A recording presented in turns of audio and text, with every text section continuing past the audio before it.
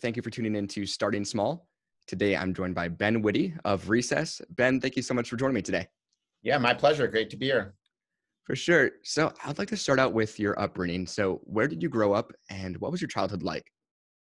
So, I grew up in uh, Laguna Beach, California, which is an hour south uh, of LA. Uh, it's basically a small kind of surf town, uh, beach town. Um, and growing up, I was kind of a, a surfer and a, a, creative, I would say. I was really into photography and making movies and kind of digital art. Um, and uh, actually made the first kind of entrepreneurial and creative thing I ever did was make this basically a documentary uh, about this uh, um, sport that was invented in my town called skimboarding, mm-hmm. which is where you throw this board uh, kind of on the sand and kind of ride out to the wave instead of sitting out in the ocean like surfing and mm-hmm. the reason that sport was invented there is because uh, there's a lot of coves and lagunas so the waves break really close to shore um, so anyways made you know made a move with my friend when i was 16 and uh, kind of premiered it at the you know the local theater and sold copies in kind of local surf shops you know in, in the region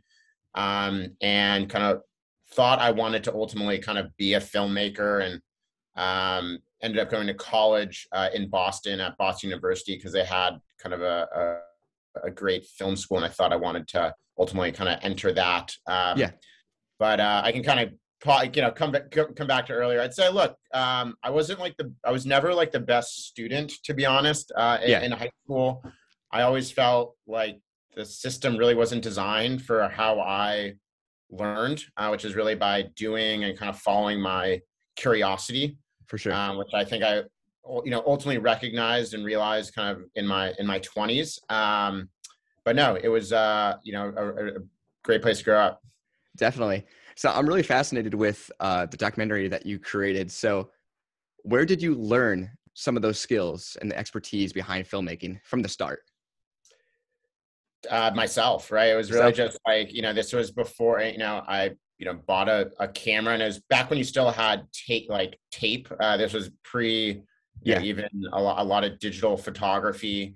Um, i was i got into like super 8 film which is one of those old school cameras oh, yeah. and uh, my friend and i figured out how to like film on super 8 and transfer it into kind of like a, into digital so you could edit it um, you know on a computer. You know i started editing in imovie and then we transitioned to kind of final cut pro but it was really just learning by doing. Hmm. Um, mm.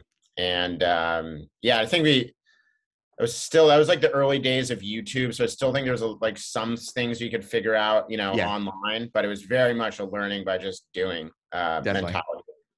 Awesome. So you went to, as you mentioned, Boston in 2006. Uh, with your time there studying film, were you involved with any clubs or athletics? Uh, I first of all, I didn't end up studying film. I ended up transferring uh, into okay. the undergraduate business school because I felt that ultimately, like film, I wasn't like fully convinced I wanted to be a filmmaker, and I felt yeah. if I would studied that, it would have been too kind of narrowly focused, which I regret in retrospect, um, which I can kind of come back to. But I wasn't really involved in any clubs uh, or athletics, to be honest. It was, you know, it was just Boston University is kind of, you know, in a city, so it was very much kind of this city experience. Yeah, and it was very impactful for me because, you know, Laguna Beach is this kind of bubble surf town, and I was the first time, um, you know, all my friends ended up being from like New York City or from abroad. Yeah, um, it was really just kind of soaking in, you know, living in a city, and then on the East Coast, I ended up spending a lot of time you know, in New York and kind of just fell in love with New York City. Um, and so even, you know, college, I also don't, I was not the best, like, you know, student then either, to be honest. Um, yeah. But I also think it was because just I wasn't really designed to learn through school, right? Or I didn't yeah. appreciate it at the time in a way that I do now because I felt like it didn't, you know, the programs I'd learned were, were just not um, designed for what I was curious about. Got it. So, as you mentioned, what was the leading factor into switching that degree and your aspirations from film to over the business department? I think it was more uh, I wasn't sure what I wanted, what I ultimately wanted to do, and I yeah. felt like by studying film, it would have been a little limiting. I think that was wrong in retrospect, but that was my thinking at the time. Yeah. Um, and you know, I come from a family, you know, people that are, you know, in the business world. Um, and, you know, it, my sister is a fellow uh, entrepreneur. And so that's kind of been in my blood. Right. And so yeah. I figured that since I wasn't convinced I wanted to be a filmmaker, that studying a little bit more so, something a little bit more broad that was relevant across many things like business, quote unquote, whatever that means. Yeah, uh, would be a, a better path, basically. For sure. And then, uh, following school and prior to recess, then with this degree, what kind of jobs were you working?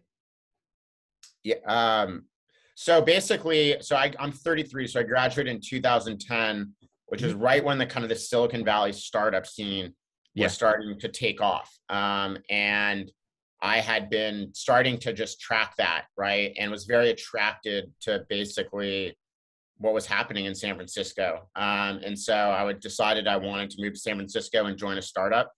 Uh, I joined a three-person startup uh, right out of school uh, that was built actually building an influencer marketing platform for okay. social media. Um, and this was back like we, they actually we launched on like MySpace to give you a sense of where the world was. Wow. Um, and it was this very kind of impactful experience for me uh, because you know it was a tiny startup that I I joined. Um, it was at the forefront of kind of social media marketing and really trying to think through how brands um, would uh, basically reach consumers, you know, in a social media driven yeah. world. And I think we predicted like the uh, idea of like influencer marketing, so to speak. Mm. Um, but it was one of these things that was like the right idea at the wrong time. It was like I think it was too early.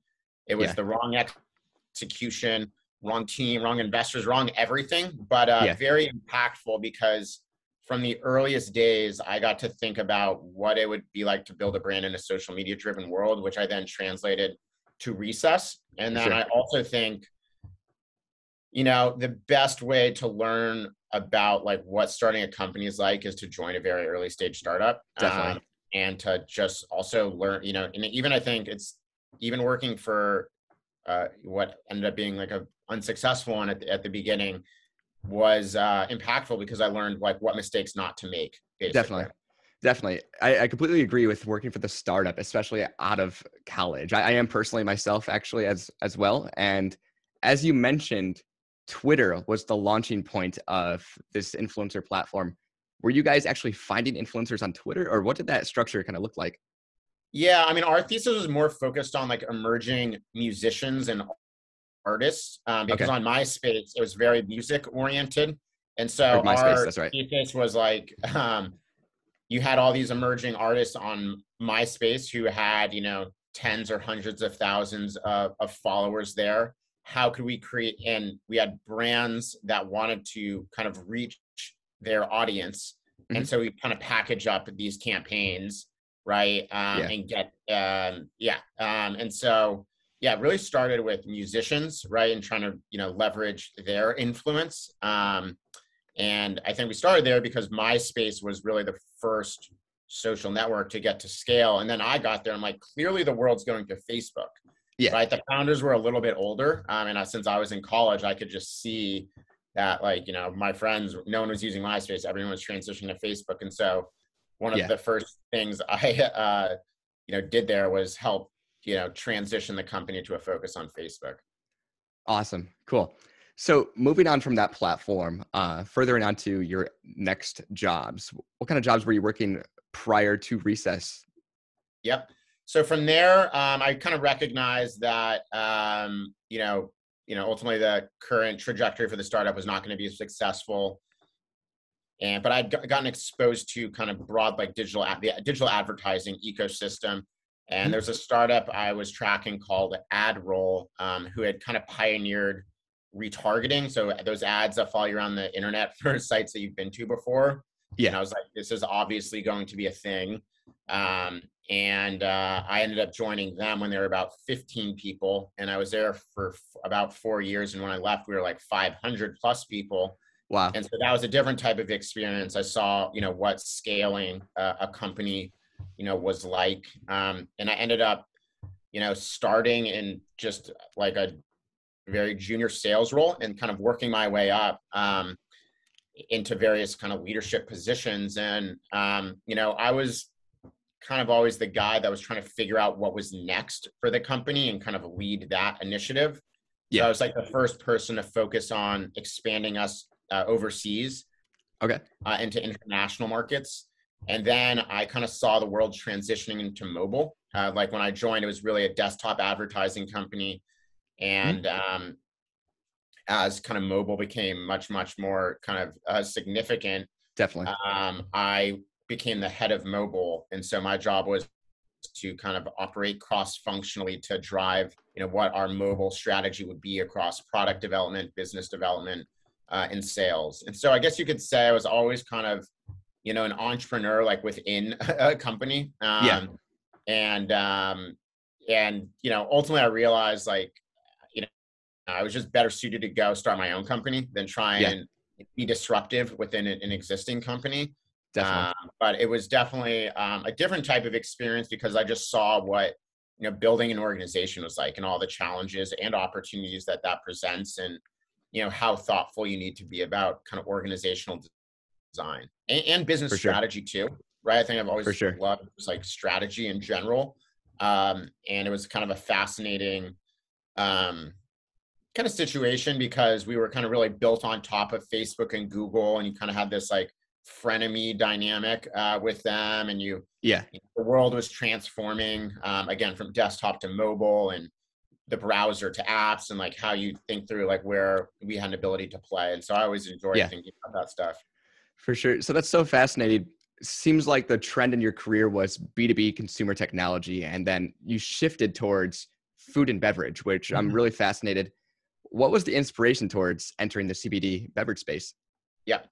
So, like I said, like after about four years at AdRoll, I just kind of recognized that I was better suited to go out my own and start my own company, right? Yeah. Um, and I was also smart enough to realize that I kind of ended up in advertising technology by accident. It was not a deliberate choice. It was really about joining the first startup I could out of college, yeah. which kind of got me into this space and then getting exposed to the broader digital advertising ecosystem. But it was not like it was my passion. It was yeah. just like where I ended up. And I was able to really learn uh, about the industry and, you know, become like, you know, a pretty a leader within it uh, for a for period sure. of time. But, you know, I always you know, I, I think, you know, I, I, recognize that if I was going to start my own company, I would, I would want to focus on something that I was, you know, pa- you know, myself kind of passionate about, right? Definitely. And that was kind of consumer experiences because I wanted to kind of leverage, you know, my design sensibilities. Um, yeah. Going back to like high school when I was a creative, I think at my core, those were kind of where my instincts led me. And yep. I remember getting this very important piece of advice um, when I was thinking through the next kind of phase of my career, which uh, from someone, and he said, kind of pay attention to what you pay attention to, right? Mm-hmm. The idea is like, what do you think about like when no one's watching, basically? Yeah. That's going to be, those are the things that you're going to be better suited to work really hard on. Right. Definitely. And for me, that was like various creative industries and, and design um, and things like that. And so the first idea, uh, startup idea I explored um, was actually a hotel concept. Uh, this was when, in like 2014, 15, um, when kind of WeWork and Airbnb were really blowing up, and the yeah. idea was like Soho House meets a high-end hostel targeted at the WeWork crowd. And I really believed in this idea of uh, actually like nomadic living, right? Which ended up mm. becoming I think more true because of, accelerated because of COVID. I was kind of Definitely. living in California, uh, in New York, and I really believe in this idea people would want like third spaces, like community spaces that they could gather with kind of like-minded people. Definitely. Um, and so this was like the hybrid between like a hotel and like a social club, right? What was the okay. concept? And ultimately, like ended up bringing on a partner that were that was like very senior at like the standard hotel group and and but just kind of ultimately recognize that like you're really in the real estate development business and that's a very very capital intensive business and like for my yeah. first startup idea uh, you know i was probably not the best person to go raise like tens of millions of dollars to go build you know hotels over a period of years yeah Um, so ended up tabling that idea Okay. uh, around 2016, uh, which was right when uh, it around 2016, and I ended up moving to New York to join two friends uh, in what was the idea was like to create a brand studio, like an incubator called Life Capital, where we were gonna explore a bunch of different consumer startup ideas. And the original insight for what became Recess came in 2016 when uh, during when Trump got elected, and I remember thinking to myself, um, I don't know anything about the future other than it's going to be crazy, Yeah. right? And to me, it really signified that we were entering this transformational period into history, driven by technology, um, and it was kind of and essentially that like the world that we've created for ourselves, we as humans were like not designed to live in anymore. And Totally. again, it was kind of driving us all crazy. Um, and and I didn't view this as like a temporary thing. Like I think this is like the foreseeable future is going to feel this way, right? For sure. Um, and so, you know, in that world, my bet was that basically consumers would increasingly prioritize our mental health and our mental well-being, Mm. right? And you had seen the rise of like apps like Calm and Headspace. Yes. seen kind of the rise of like therapy being something that like no one talked about to something that like everyone talked about Definitely. within like a few years and i saw an opportunity to create you know basically within consumer packaged goods products for that that ultimately would make its way into the products that we consume you know in our body Mm. right Yeah. um and then i started to see the rise of cbd oil and adaptogenic herbs and like supplements that really delivered a feeling of calm and relaxation and i was like red bull for relaxation like instead of an energy drink that includes caffeine and taurine what if you Hmm. made a drink that include included cbd and adaptogens that delivered kind of the opposite effect Yeah. that was yeah it was like red bull for relaxation and i'd never ever even looked at the cpg industry i didn't even know, uh, know anybody that worked in it um, this was you know before it's gotten as kind of i'd say um, you know there's been just a lot it's transformed over the past few years where there's just so many new you know food and beverage startups today For sure. and you know when i started to think about it uh, about you know four years ago th- there just wasn't that many but i was able to like look at the industry i think with a fresh perspective where i was like what is red bull and i was like Yeah. to me red bull was really a media company for the action sports community that monetized through selling cans Definitely. right? That, like marketing a beverage is not just putting, uh, you know, liquid in the can and getting it on the shelf. It's really this whole holistic idea. For sure. Um, and again, you're really, you know, a large part of the business is brand marketing, and that would leverage my kind of creative sensibilities. Definitely. And to be honest, I didn't have any better ideas, right? Like this Yeah. was like the best idea uh, I had to go pursue, and so I decided this is it, and I was going to go, you know, focus 100% of my time on kind of building, building what became Recess. That's amazing.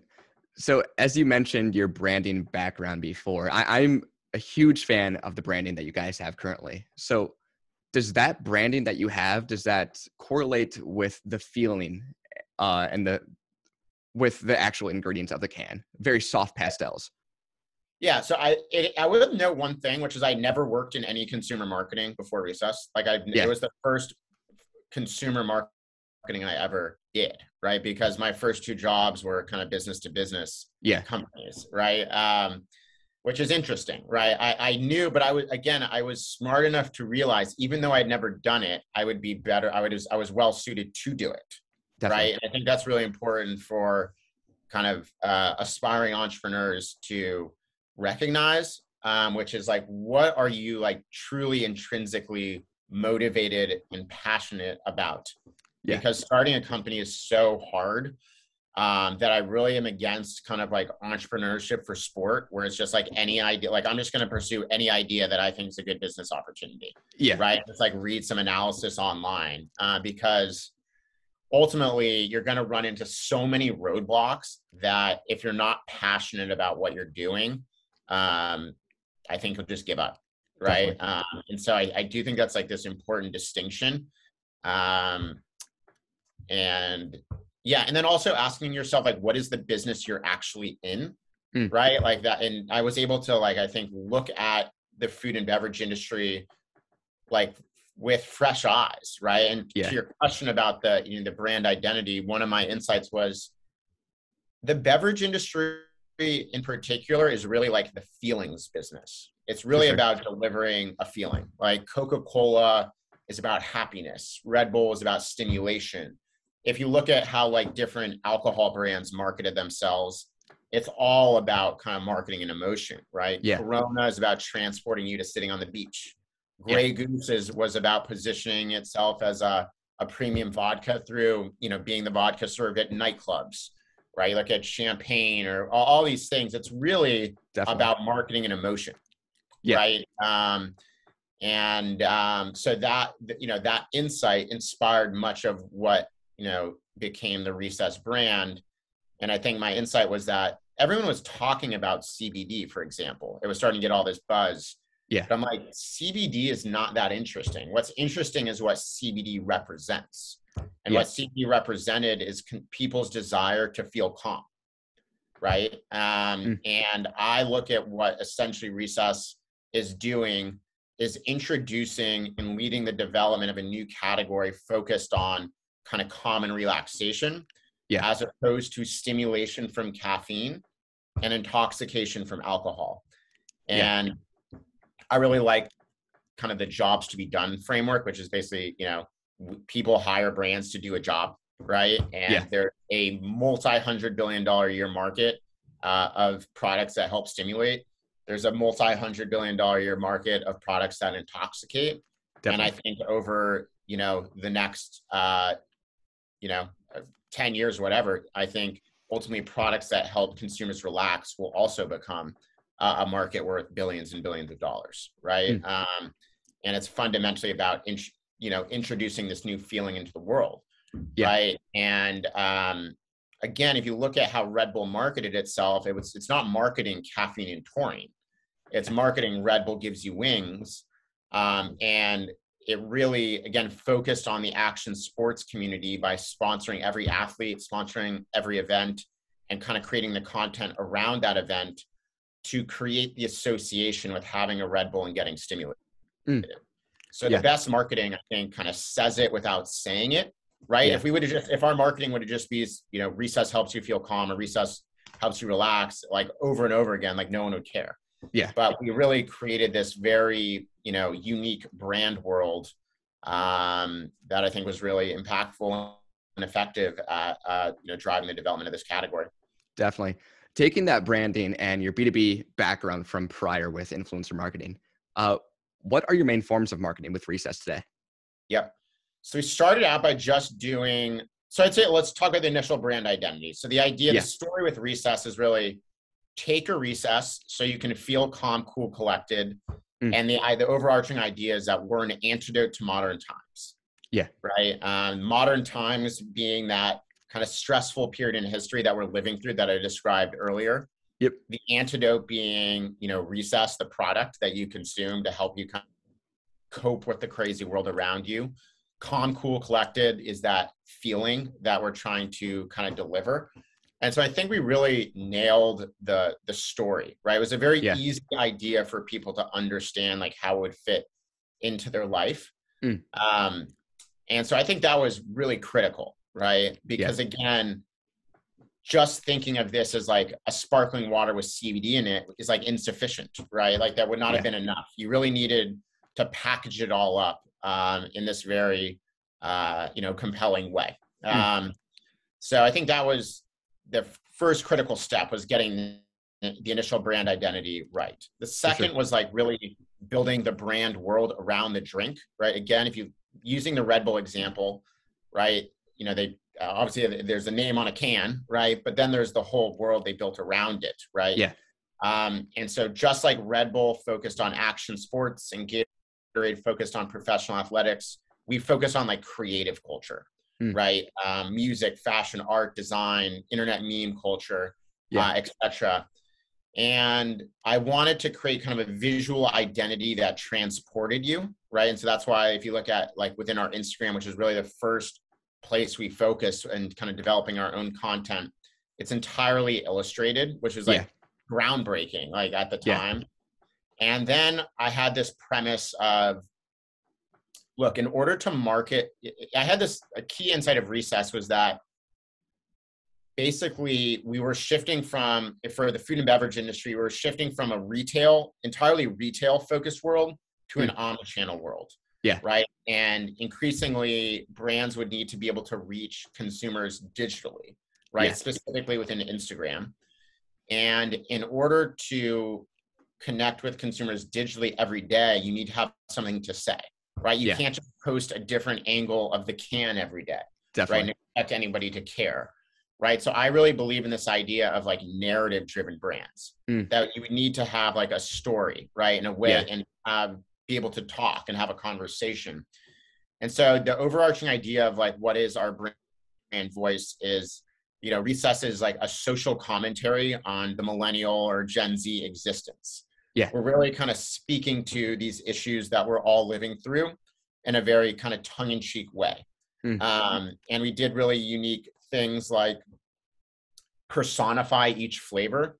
So each flavor represents a millennial archetype Okay. Um, like peach ginger's the party girl, coconut limes like the hustler dude in Miami, blackberry chai is like the the emo like introspective one, and That's they awesome. kind of talk amongst each other, and that allows us to kind of create content, you know, every every day. And so the first kind of thing we did was really focus on just literally one single Instagram post a day for like, you know, three years, right? Um, and the idea, yeah. the act of creating like a you know a unique piece of content every day is actually pretty challenging. Yeah. Right? So that was like the first thing that really put us on the map. And again it's it's tough to like think about now but like when we launched in kind of late 2018 that was groundbreaking. Like no one in cpg was really fo- really focused on digital uh, or even instagram in, in a very meaningful way. For sure. The second thing we did uh, I, la- I launched a company out of my apartment uh, in new york uh, in the east village and the first retail market we focused on was New York. Mm. Um, and we did a pop up um, called the Recess IRL, uh, which you can look up uh, online. And, uh, and that the idea there was to create a space in lower Manhattan that really felt like you were walking into the feeling we want you to feel when you drink a recess. Yeah. So really kind of the the look and feel of the the space looked like our Instagram. And we ended up hosting, you know, three to four events a week there um, wow. with different brand and creative partners, you know, for six months straight. Jeez. And so that was this very impactful, you know, thing we did. And so, you know, you asked like what the marketing strategy was. It was really to create our own content and experiences. Do mm. no paid marketing, no yeah. influencer marketing either. Okay. Like we're just starting influencer marketing. Wow. And my thinking there is you want to be cool yourself before you ask people to make you you cool. Yeah, definitely. I, I think people start with influencer marketing way too early. Um, it's I think it's it's good. It's important to have some established brand awareness for sure, uh, and have kind of and then accelerate and amplify that through various means, influencer marketing, paid media, uh, etc. Yeah. Versus just trying to do paid right away. Definitely. We really spent like two years establishing you know this brand foundation and now we're in this position to like accelerate it. Hmm. and so i'd say that's a couple thoughts on on how i think about the marketing. Wow that's very unique and i i'm, I'm a huge fan of your marketing strategy on socials as well. Um, with that marketing strategy what would you say is the main demographic? You mentioned very young demographic on the go hard workers. What would you say? Yeah I, would say it's um it's kind of you know 22 to 34 you know kind of your classic millennial going down to gen z. Mm-hmm. um, probably young professional. We skew a little female probably like 60 40 female male. Okay. Um, pretty you know in all the major you know markets and cities but now we're expanding you know nationwide.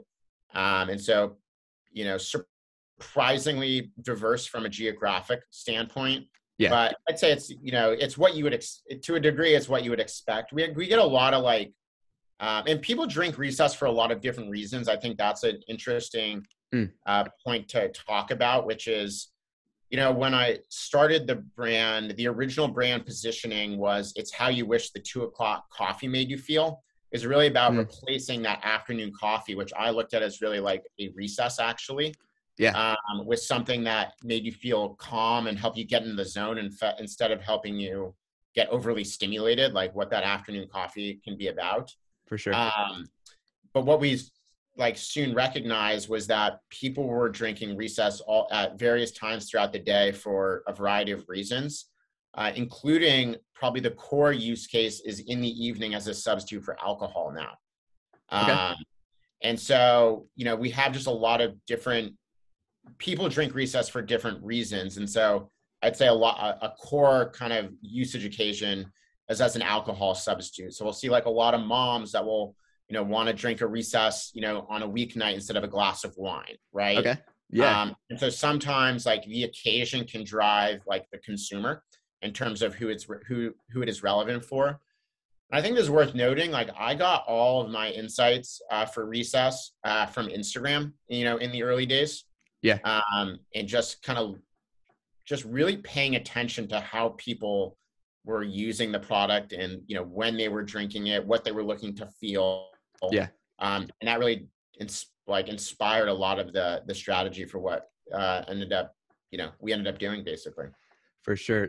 So looking at Recess today, what would you say separates Recess from competitors? If if there's direct competitors out there? Yeah. Um, well, now we operate in multiple categories. So we have our CBD yeah. beverage line. We have this line called Recess Mood, uh, which is a magnesium uh, based line, which is focused on kind of calming the mind and lifting the mood and that's in both beverages and supplement form. Okay. Um, and so I think a couple things. You know, one is our view on the category. Um, I've always rejected the premise uh, that like Recess is a CBD company. Yeah. And uh, my line on that was was always like I've never heard anyone call Red Bull a caffeine company. That's true. Right. Yeah. It's about the feeling that the brand delivers and enables. And in our case, there's multiple types of ingredients that we can use to deliver kind of nuanced feelings, uh, as well as the fact that this category um, exists in supplements as well. Yeah. so a key part of our strategy is to be to go broad early and play in multiple subcategories over time. Um, Got it. And so I think we have no direct competitors and many indirect competitors. Yeah. In different categories that we are playing in. Um, that was one. The second was, I think, our strategy of building a brand for an omni-channel world, right? Mm-hmm. Basically, betting that digital, from both a distribution perspective and a brand building perspective, would be uh, increasingly important. And now yeah. that's obvious in like a post-COVID world. Yeah. But again, when we launched in late 2018, no one had really launched direct to consumer, right? Sure. No one was really, no beverage brands were really focused uh, on Instagram and, you know, connecting with consumers digitally to the extent they are today.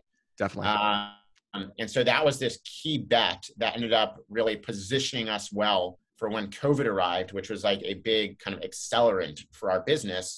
Okay. Because we were already kind of prepared for it. Yeah. Um, the third I'd say is like the brand, you know, the brand, our brand strategy overall is really critical. Like you, you are in the brand marketing business. You know, yeah. once you have a product that uh, an initial set of, you know, people connect with, you have product market fit, so to speak.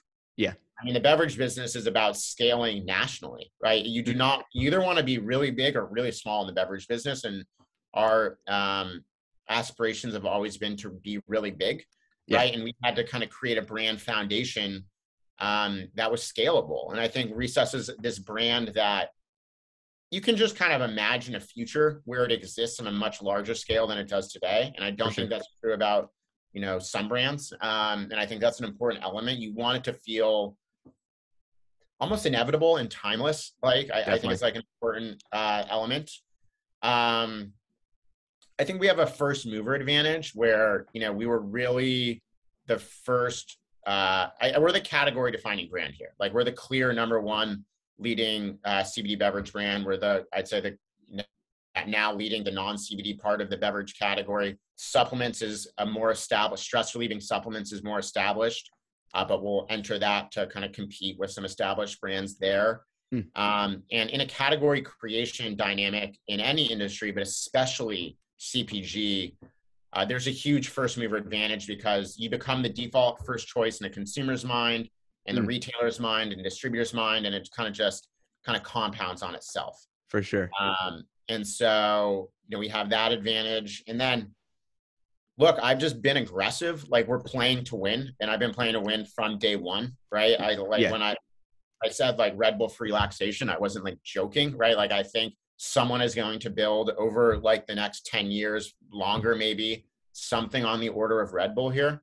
Yeah. Um, because I think the proposition is universal. And the beverage industry is pretty capital intensive um, because it requires just a lot of people, right? These beverages don't get on the mm. shelves themselves. Like we have, Definitely. you know, salespeople in every market requires a lot of marketing. You have to whole, have a whole direct to consumer and Amazon team, right? It's just a fairly capital intensive business. Um, and so, you know, we financed ourselves in a way um, mm. that allows us to do that, um, which, you know, has pros and cons with it, right? Like, for sure. Um, you know, when you raise money, it comes with a certain level uh, of expectations. Um, but I think it's been the kind of the right approach for us. And so I think it's like a bunch of different factors combined. Definitely. Um, but it, it's it's challenging, right? It, it is really challenging to to to to build to build a category Mm. Um, I, and they, they just take time to, to, to develop. So I think it's really important to have this like long-term orientation uh, to your business. 100%. Well, Ben, I like to conclude each episode with this. If you could share one piece of advice with an aspiring entrepreneur, uh, maybe something you've learned or regret, what would that be? Um, I mean, I'll go with a couple. I think to reiterate the point I made earlier, um, I'd say be patient with the uh, the idea you go all in on, right? I mm. think you can have kind of side projects that are like experiments. Yeah. Um, but I think ultimately you want to go all in on a single idea mm. because just scaling any business is just so challenging. Yeah. Um, that it requires like all of your thought and effort to to to go into it. And so make sure the idea that you end up, you know, pursuing with 100% of your focus is something that you're truly passionate about mm-hmm. and uniquely suited to uh, execute on, right? I do think that Recess, even though I didn't know anything about the food and beverage industry when I entered, right, that there's a number of factors within this industry that actually play to kind of my intrinsic uh, advantages. Mm-hmm. Um, so that was point one. And then point two is surround yourself with people um, that have done it before, whether that's investors, advisors, and your team. I ended up hiring like a very senior executive team because I recognize what my strengths are and I knew what yeah. I also don't know. And I think it's really important to kind of compensate uh, for that. Definitely. Um, so I think those are the two, two, two, two critical uh, pieces of advice I would give. For sure. Well, Ben, thank you so much for joining me. And to the listeners out there, make sure to check out Recess at takearecess.com.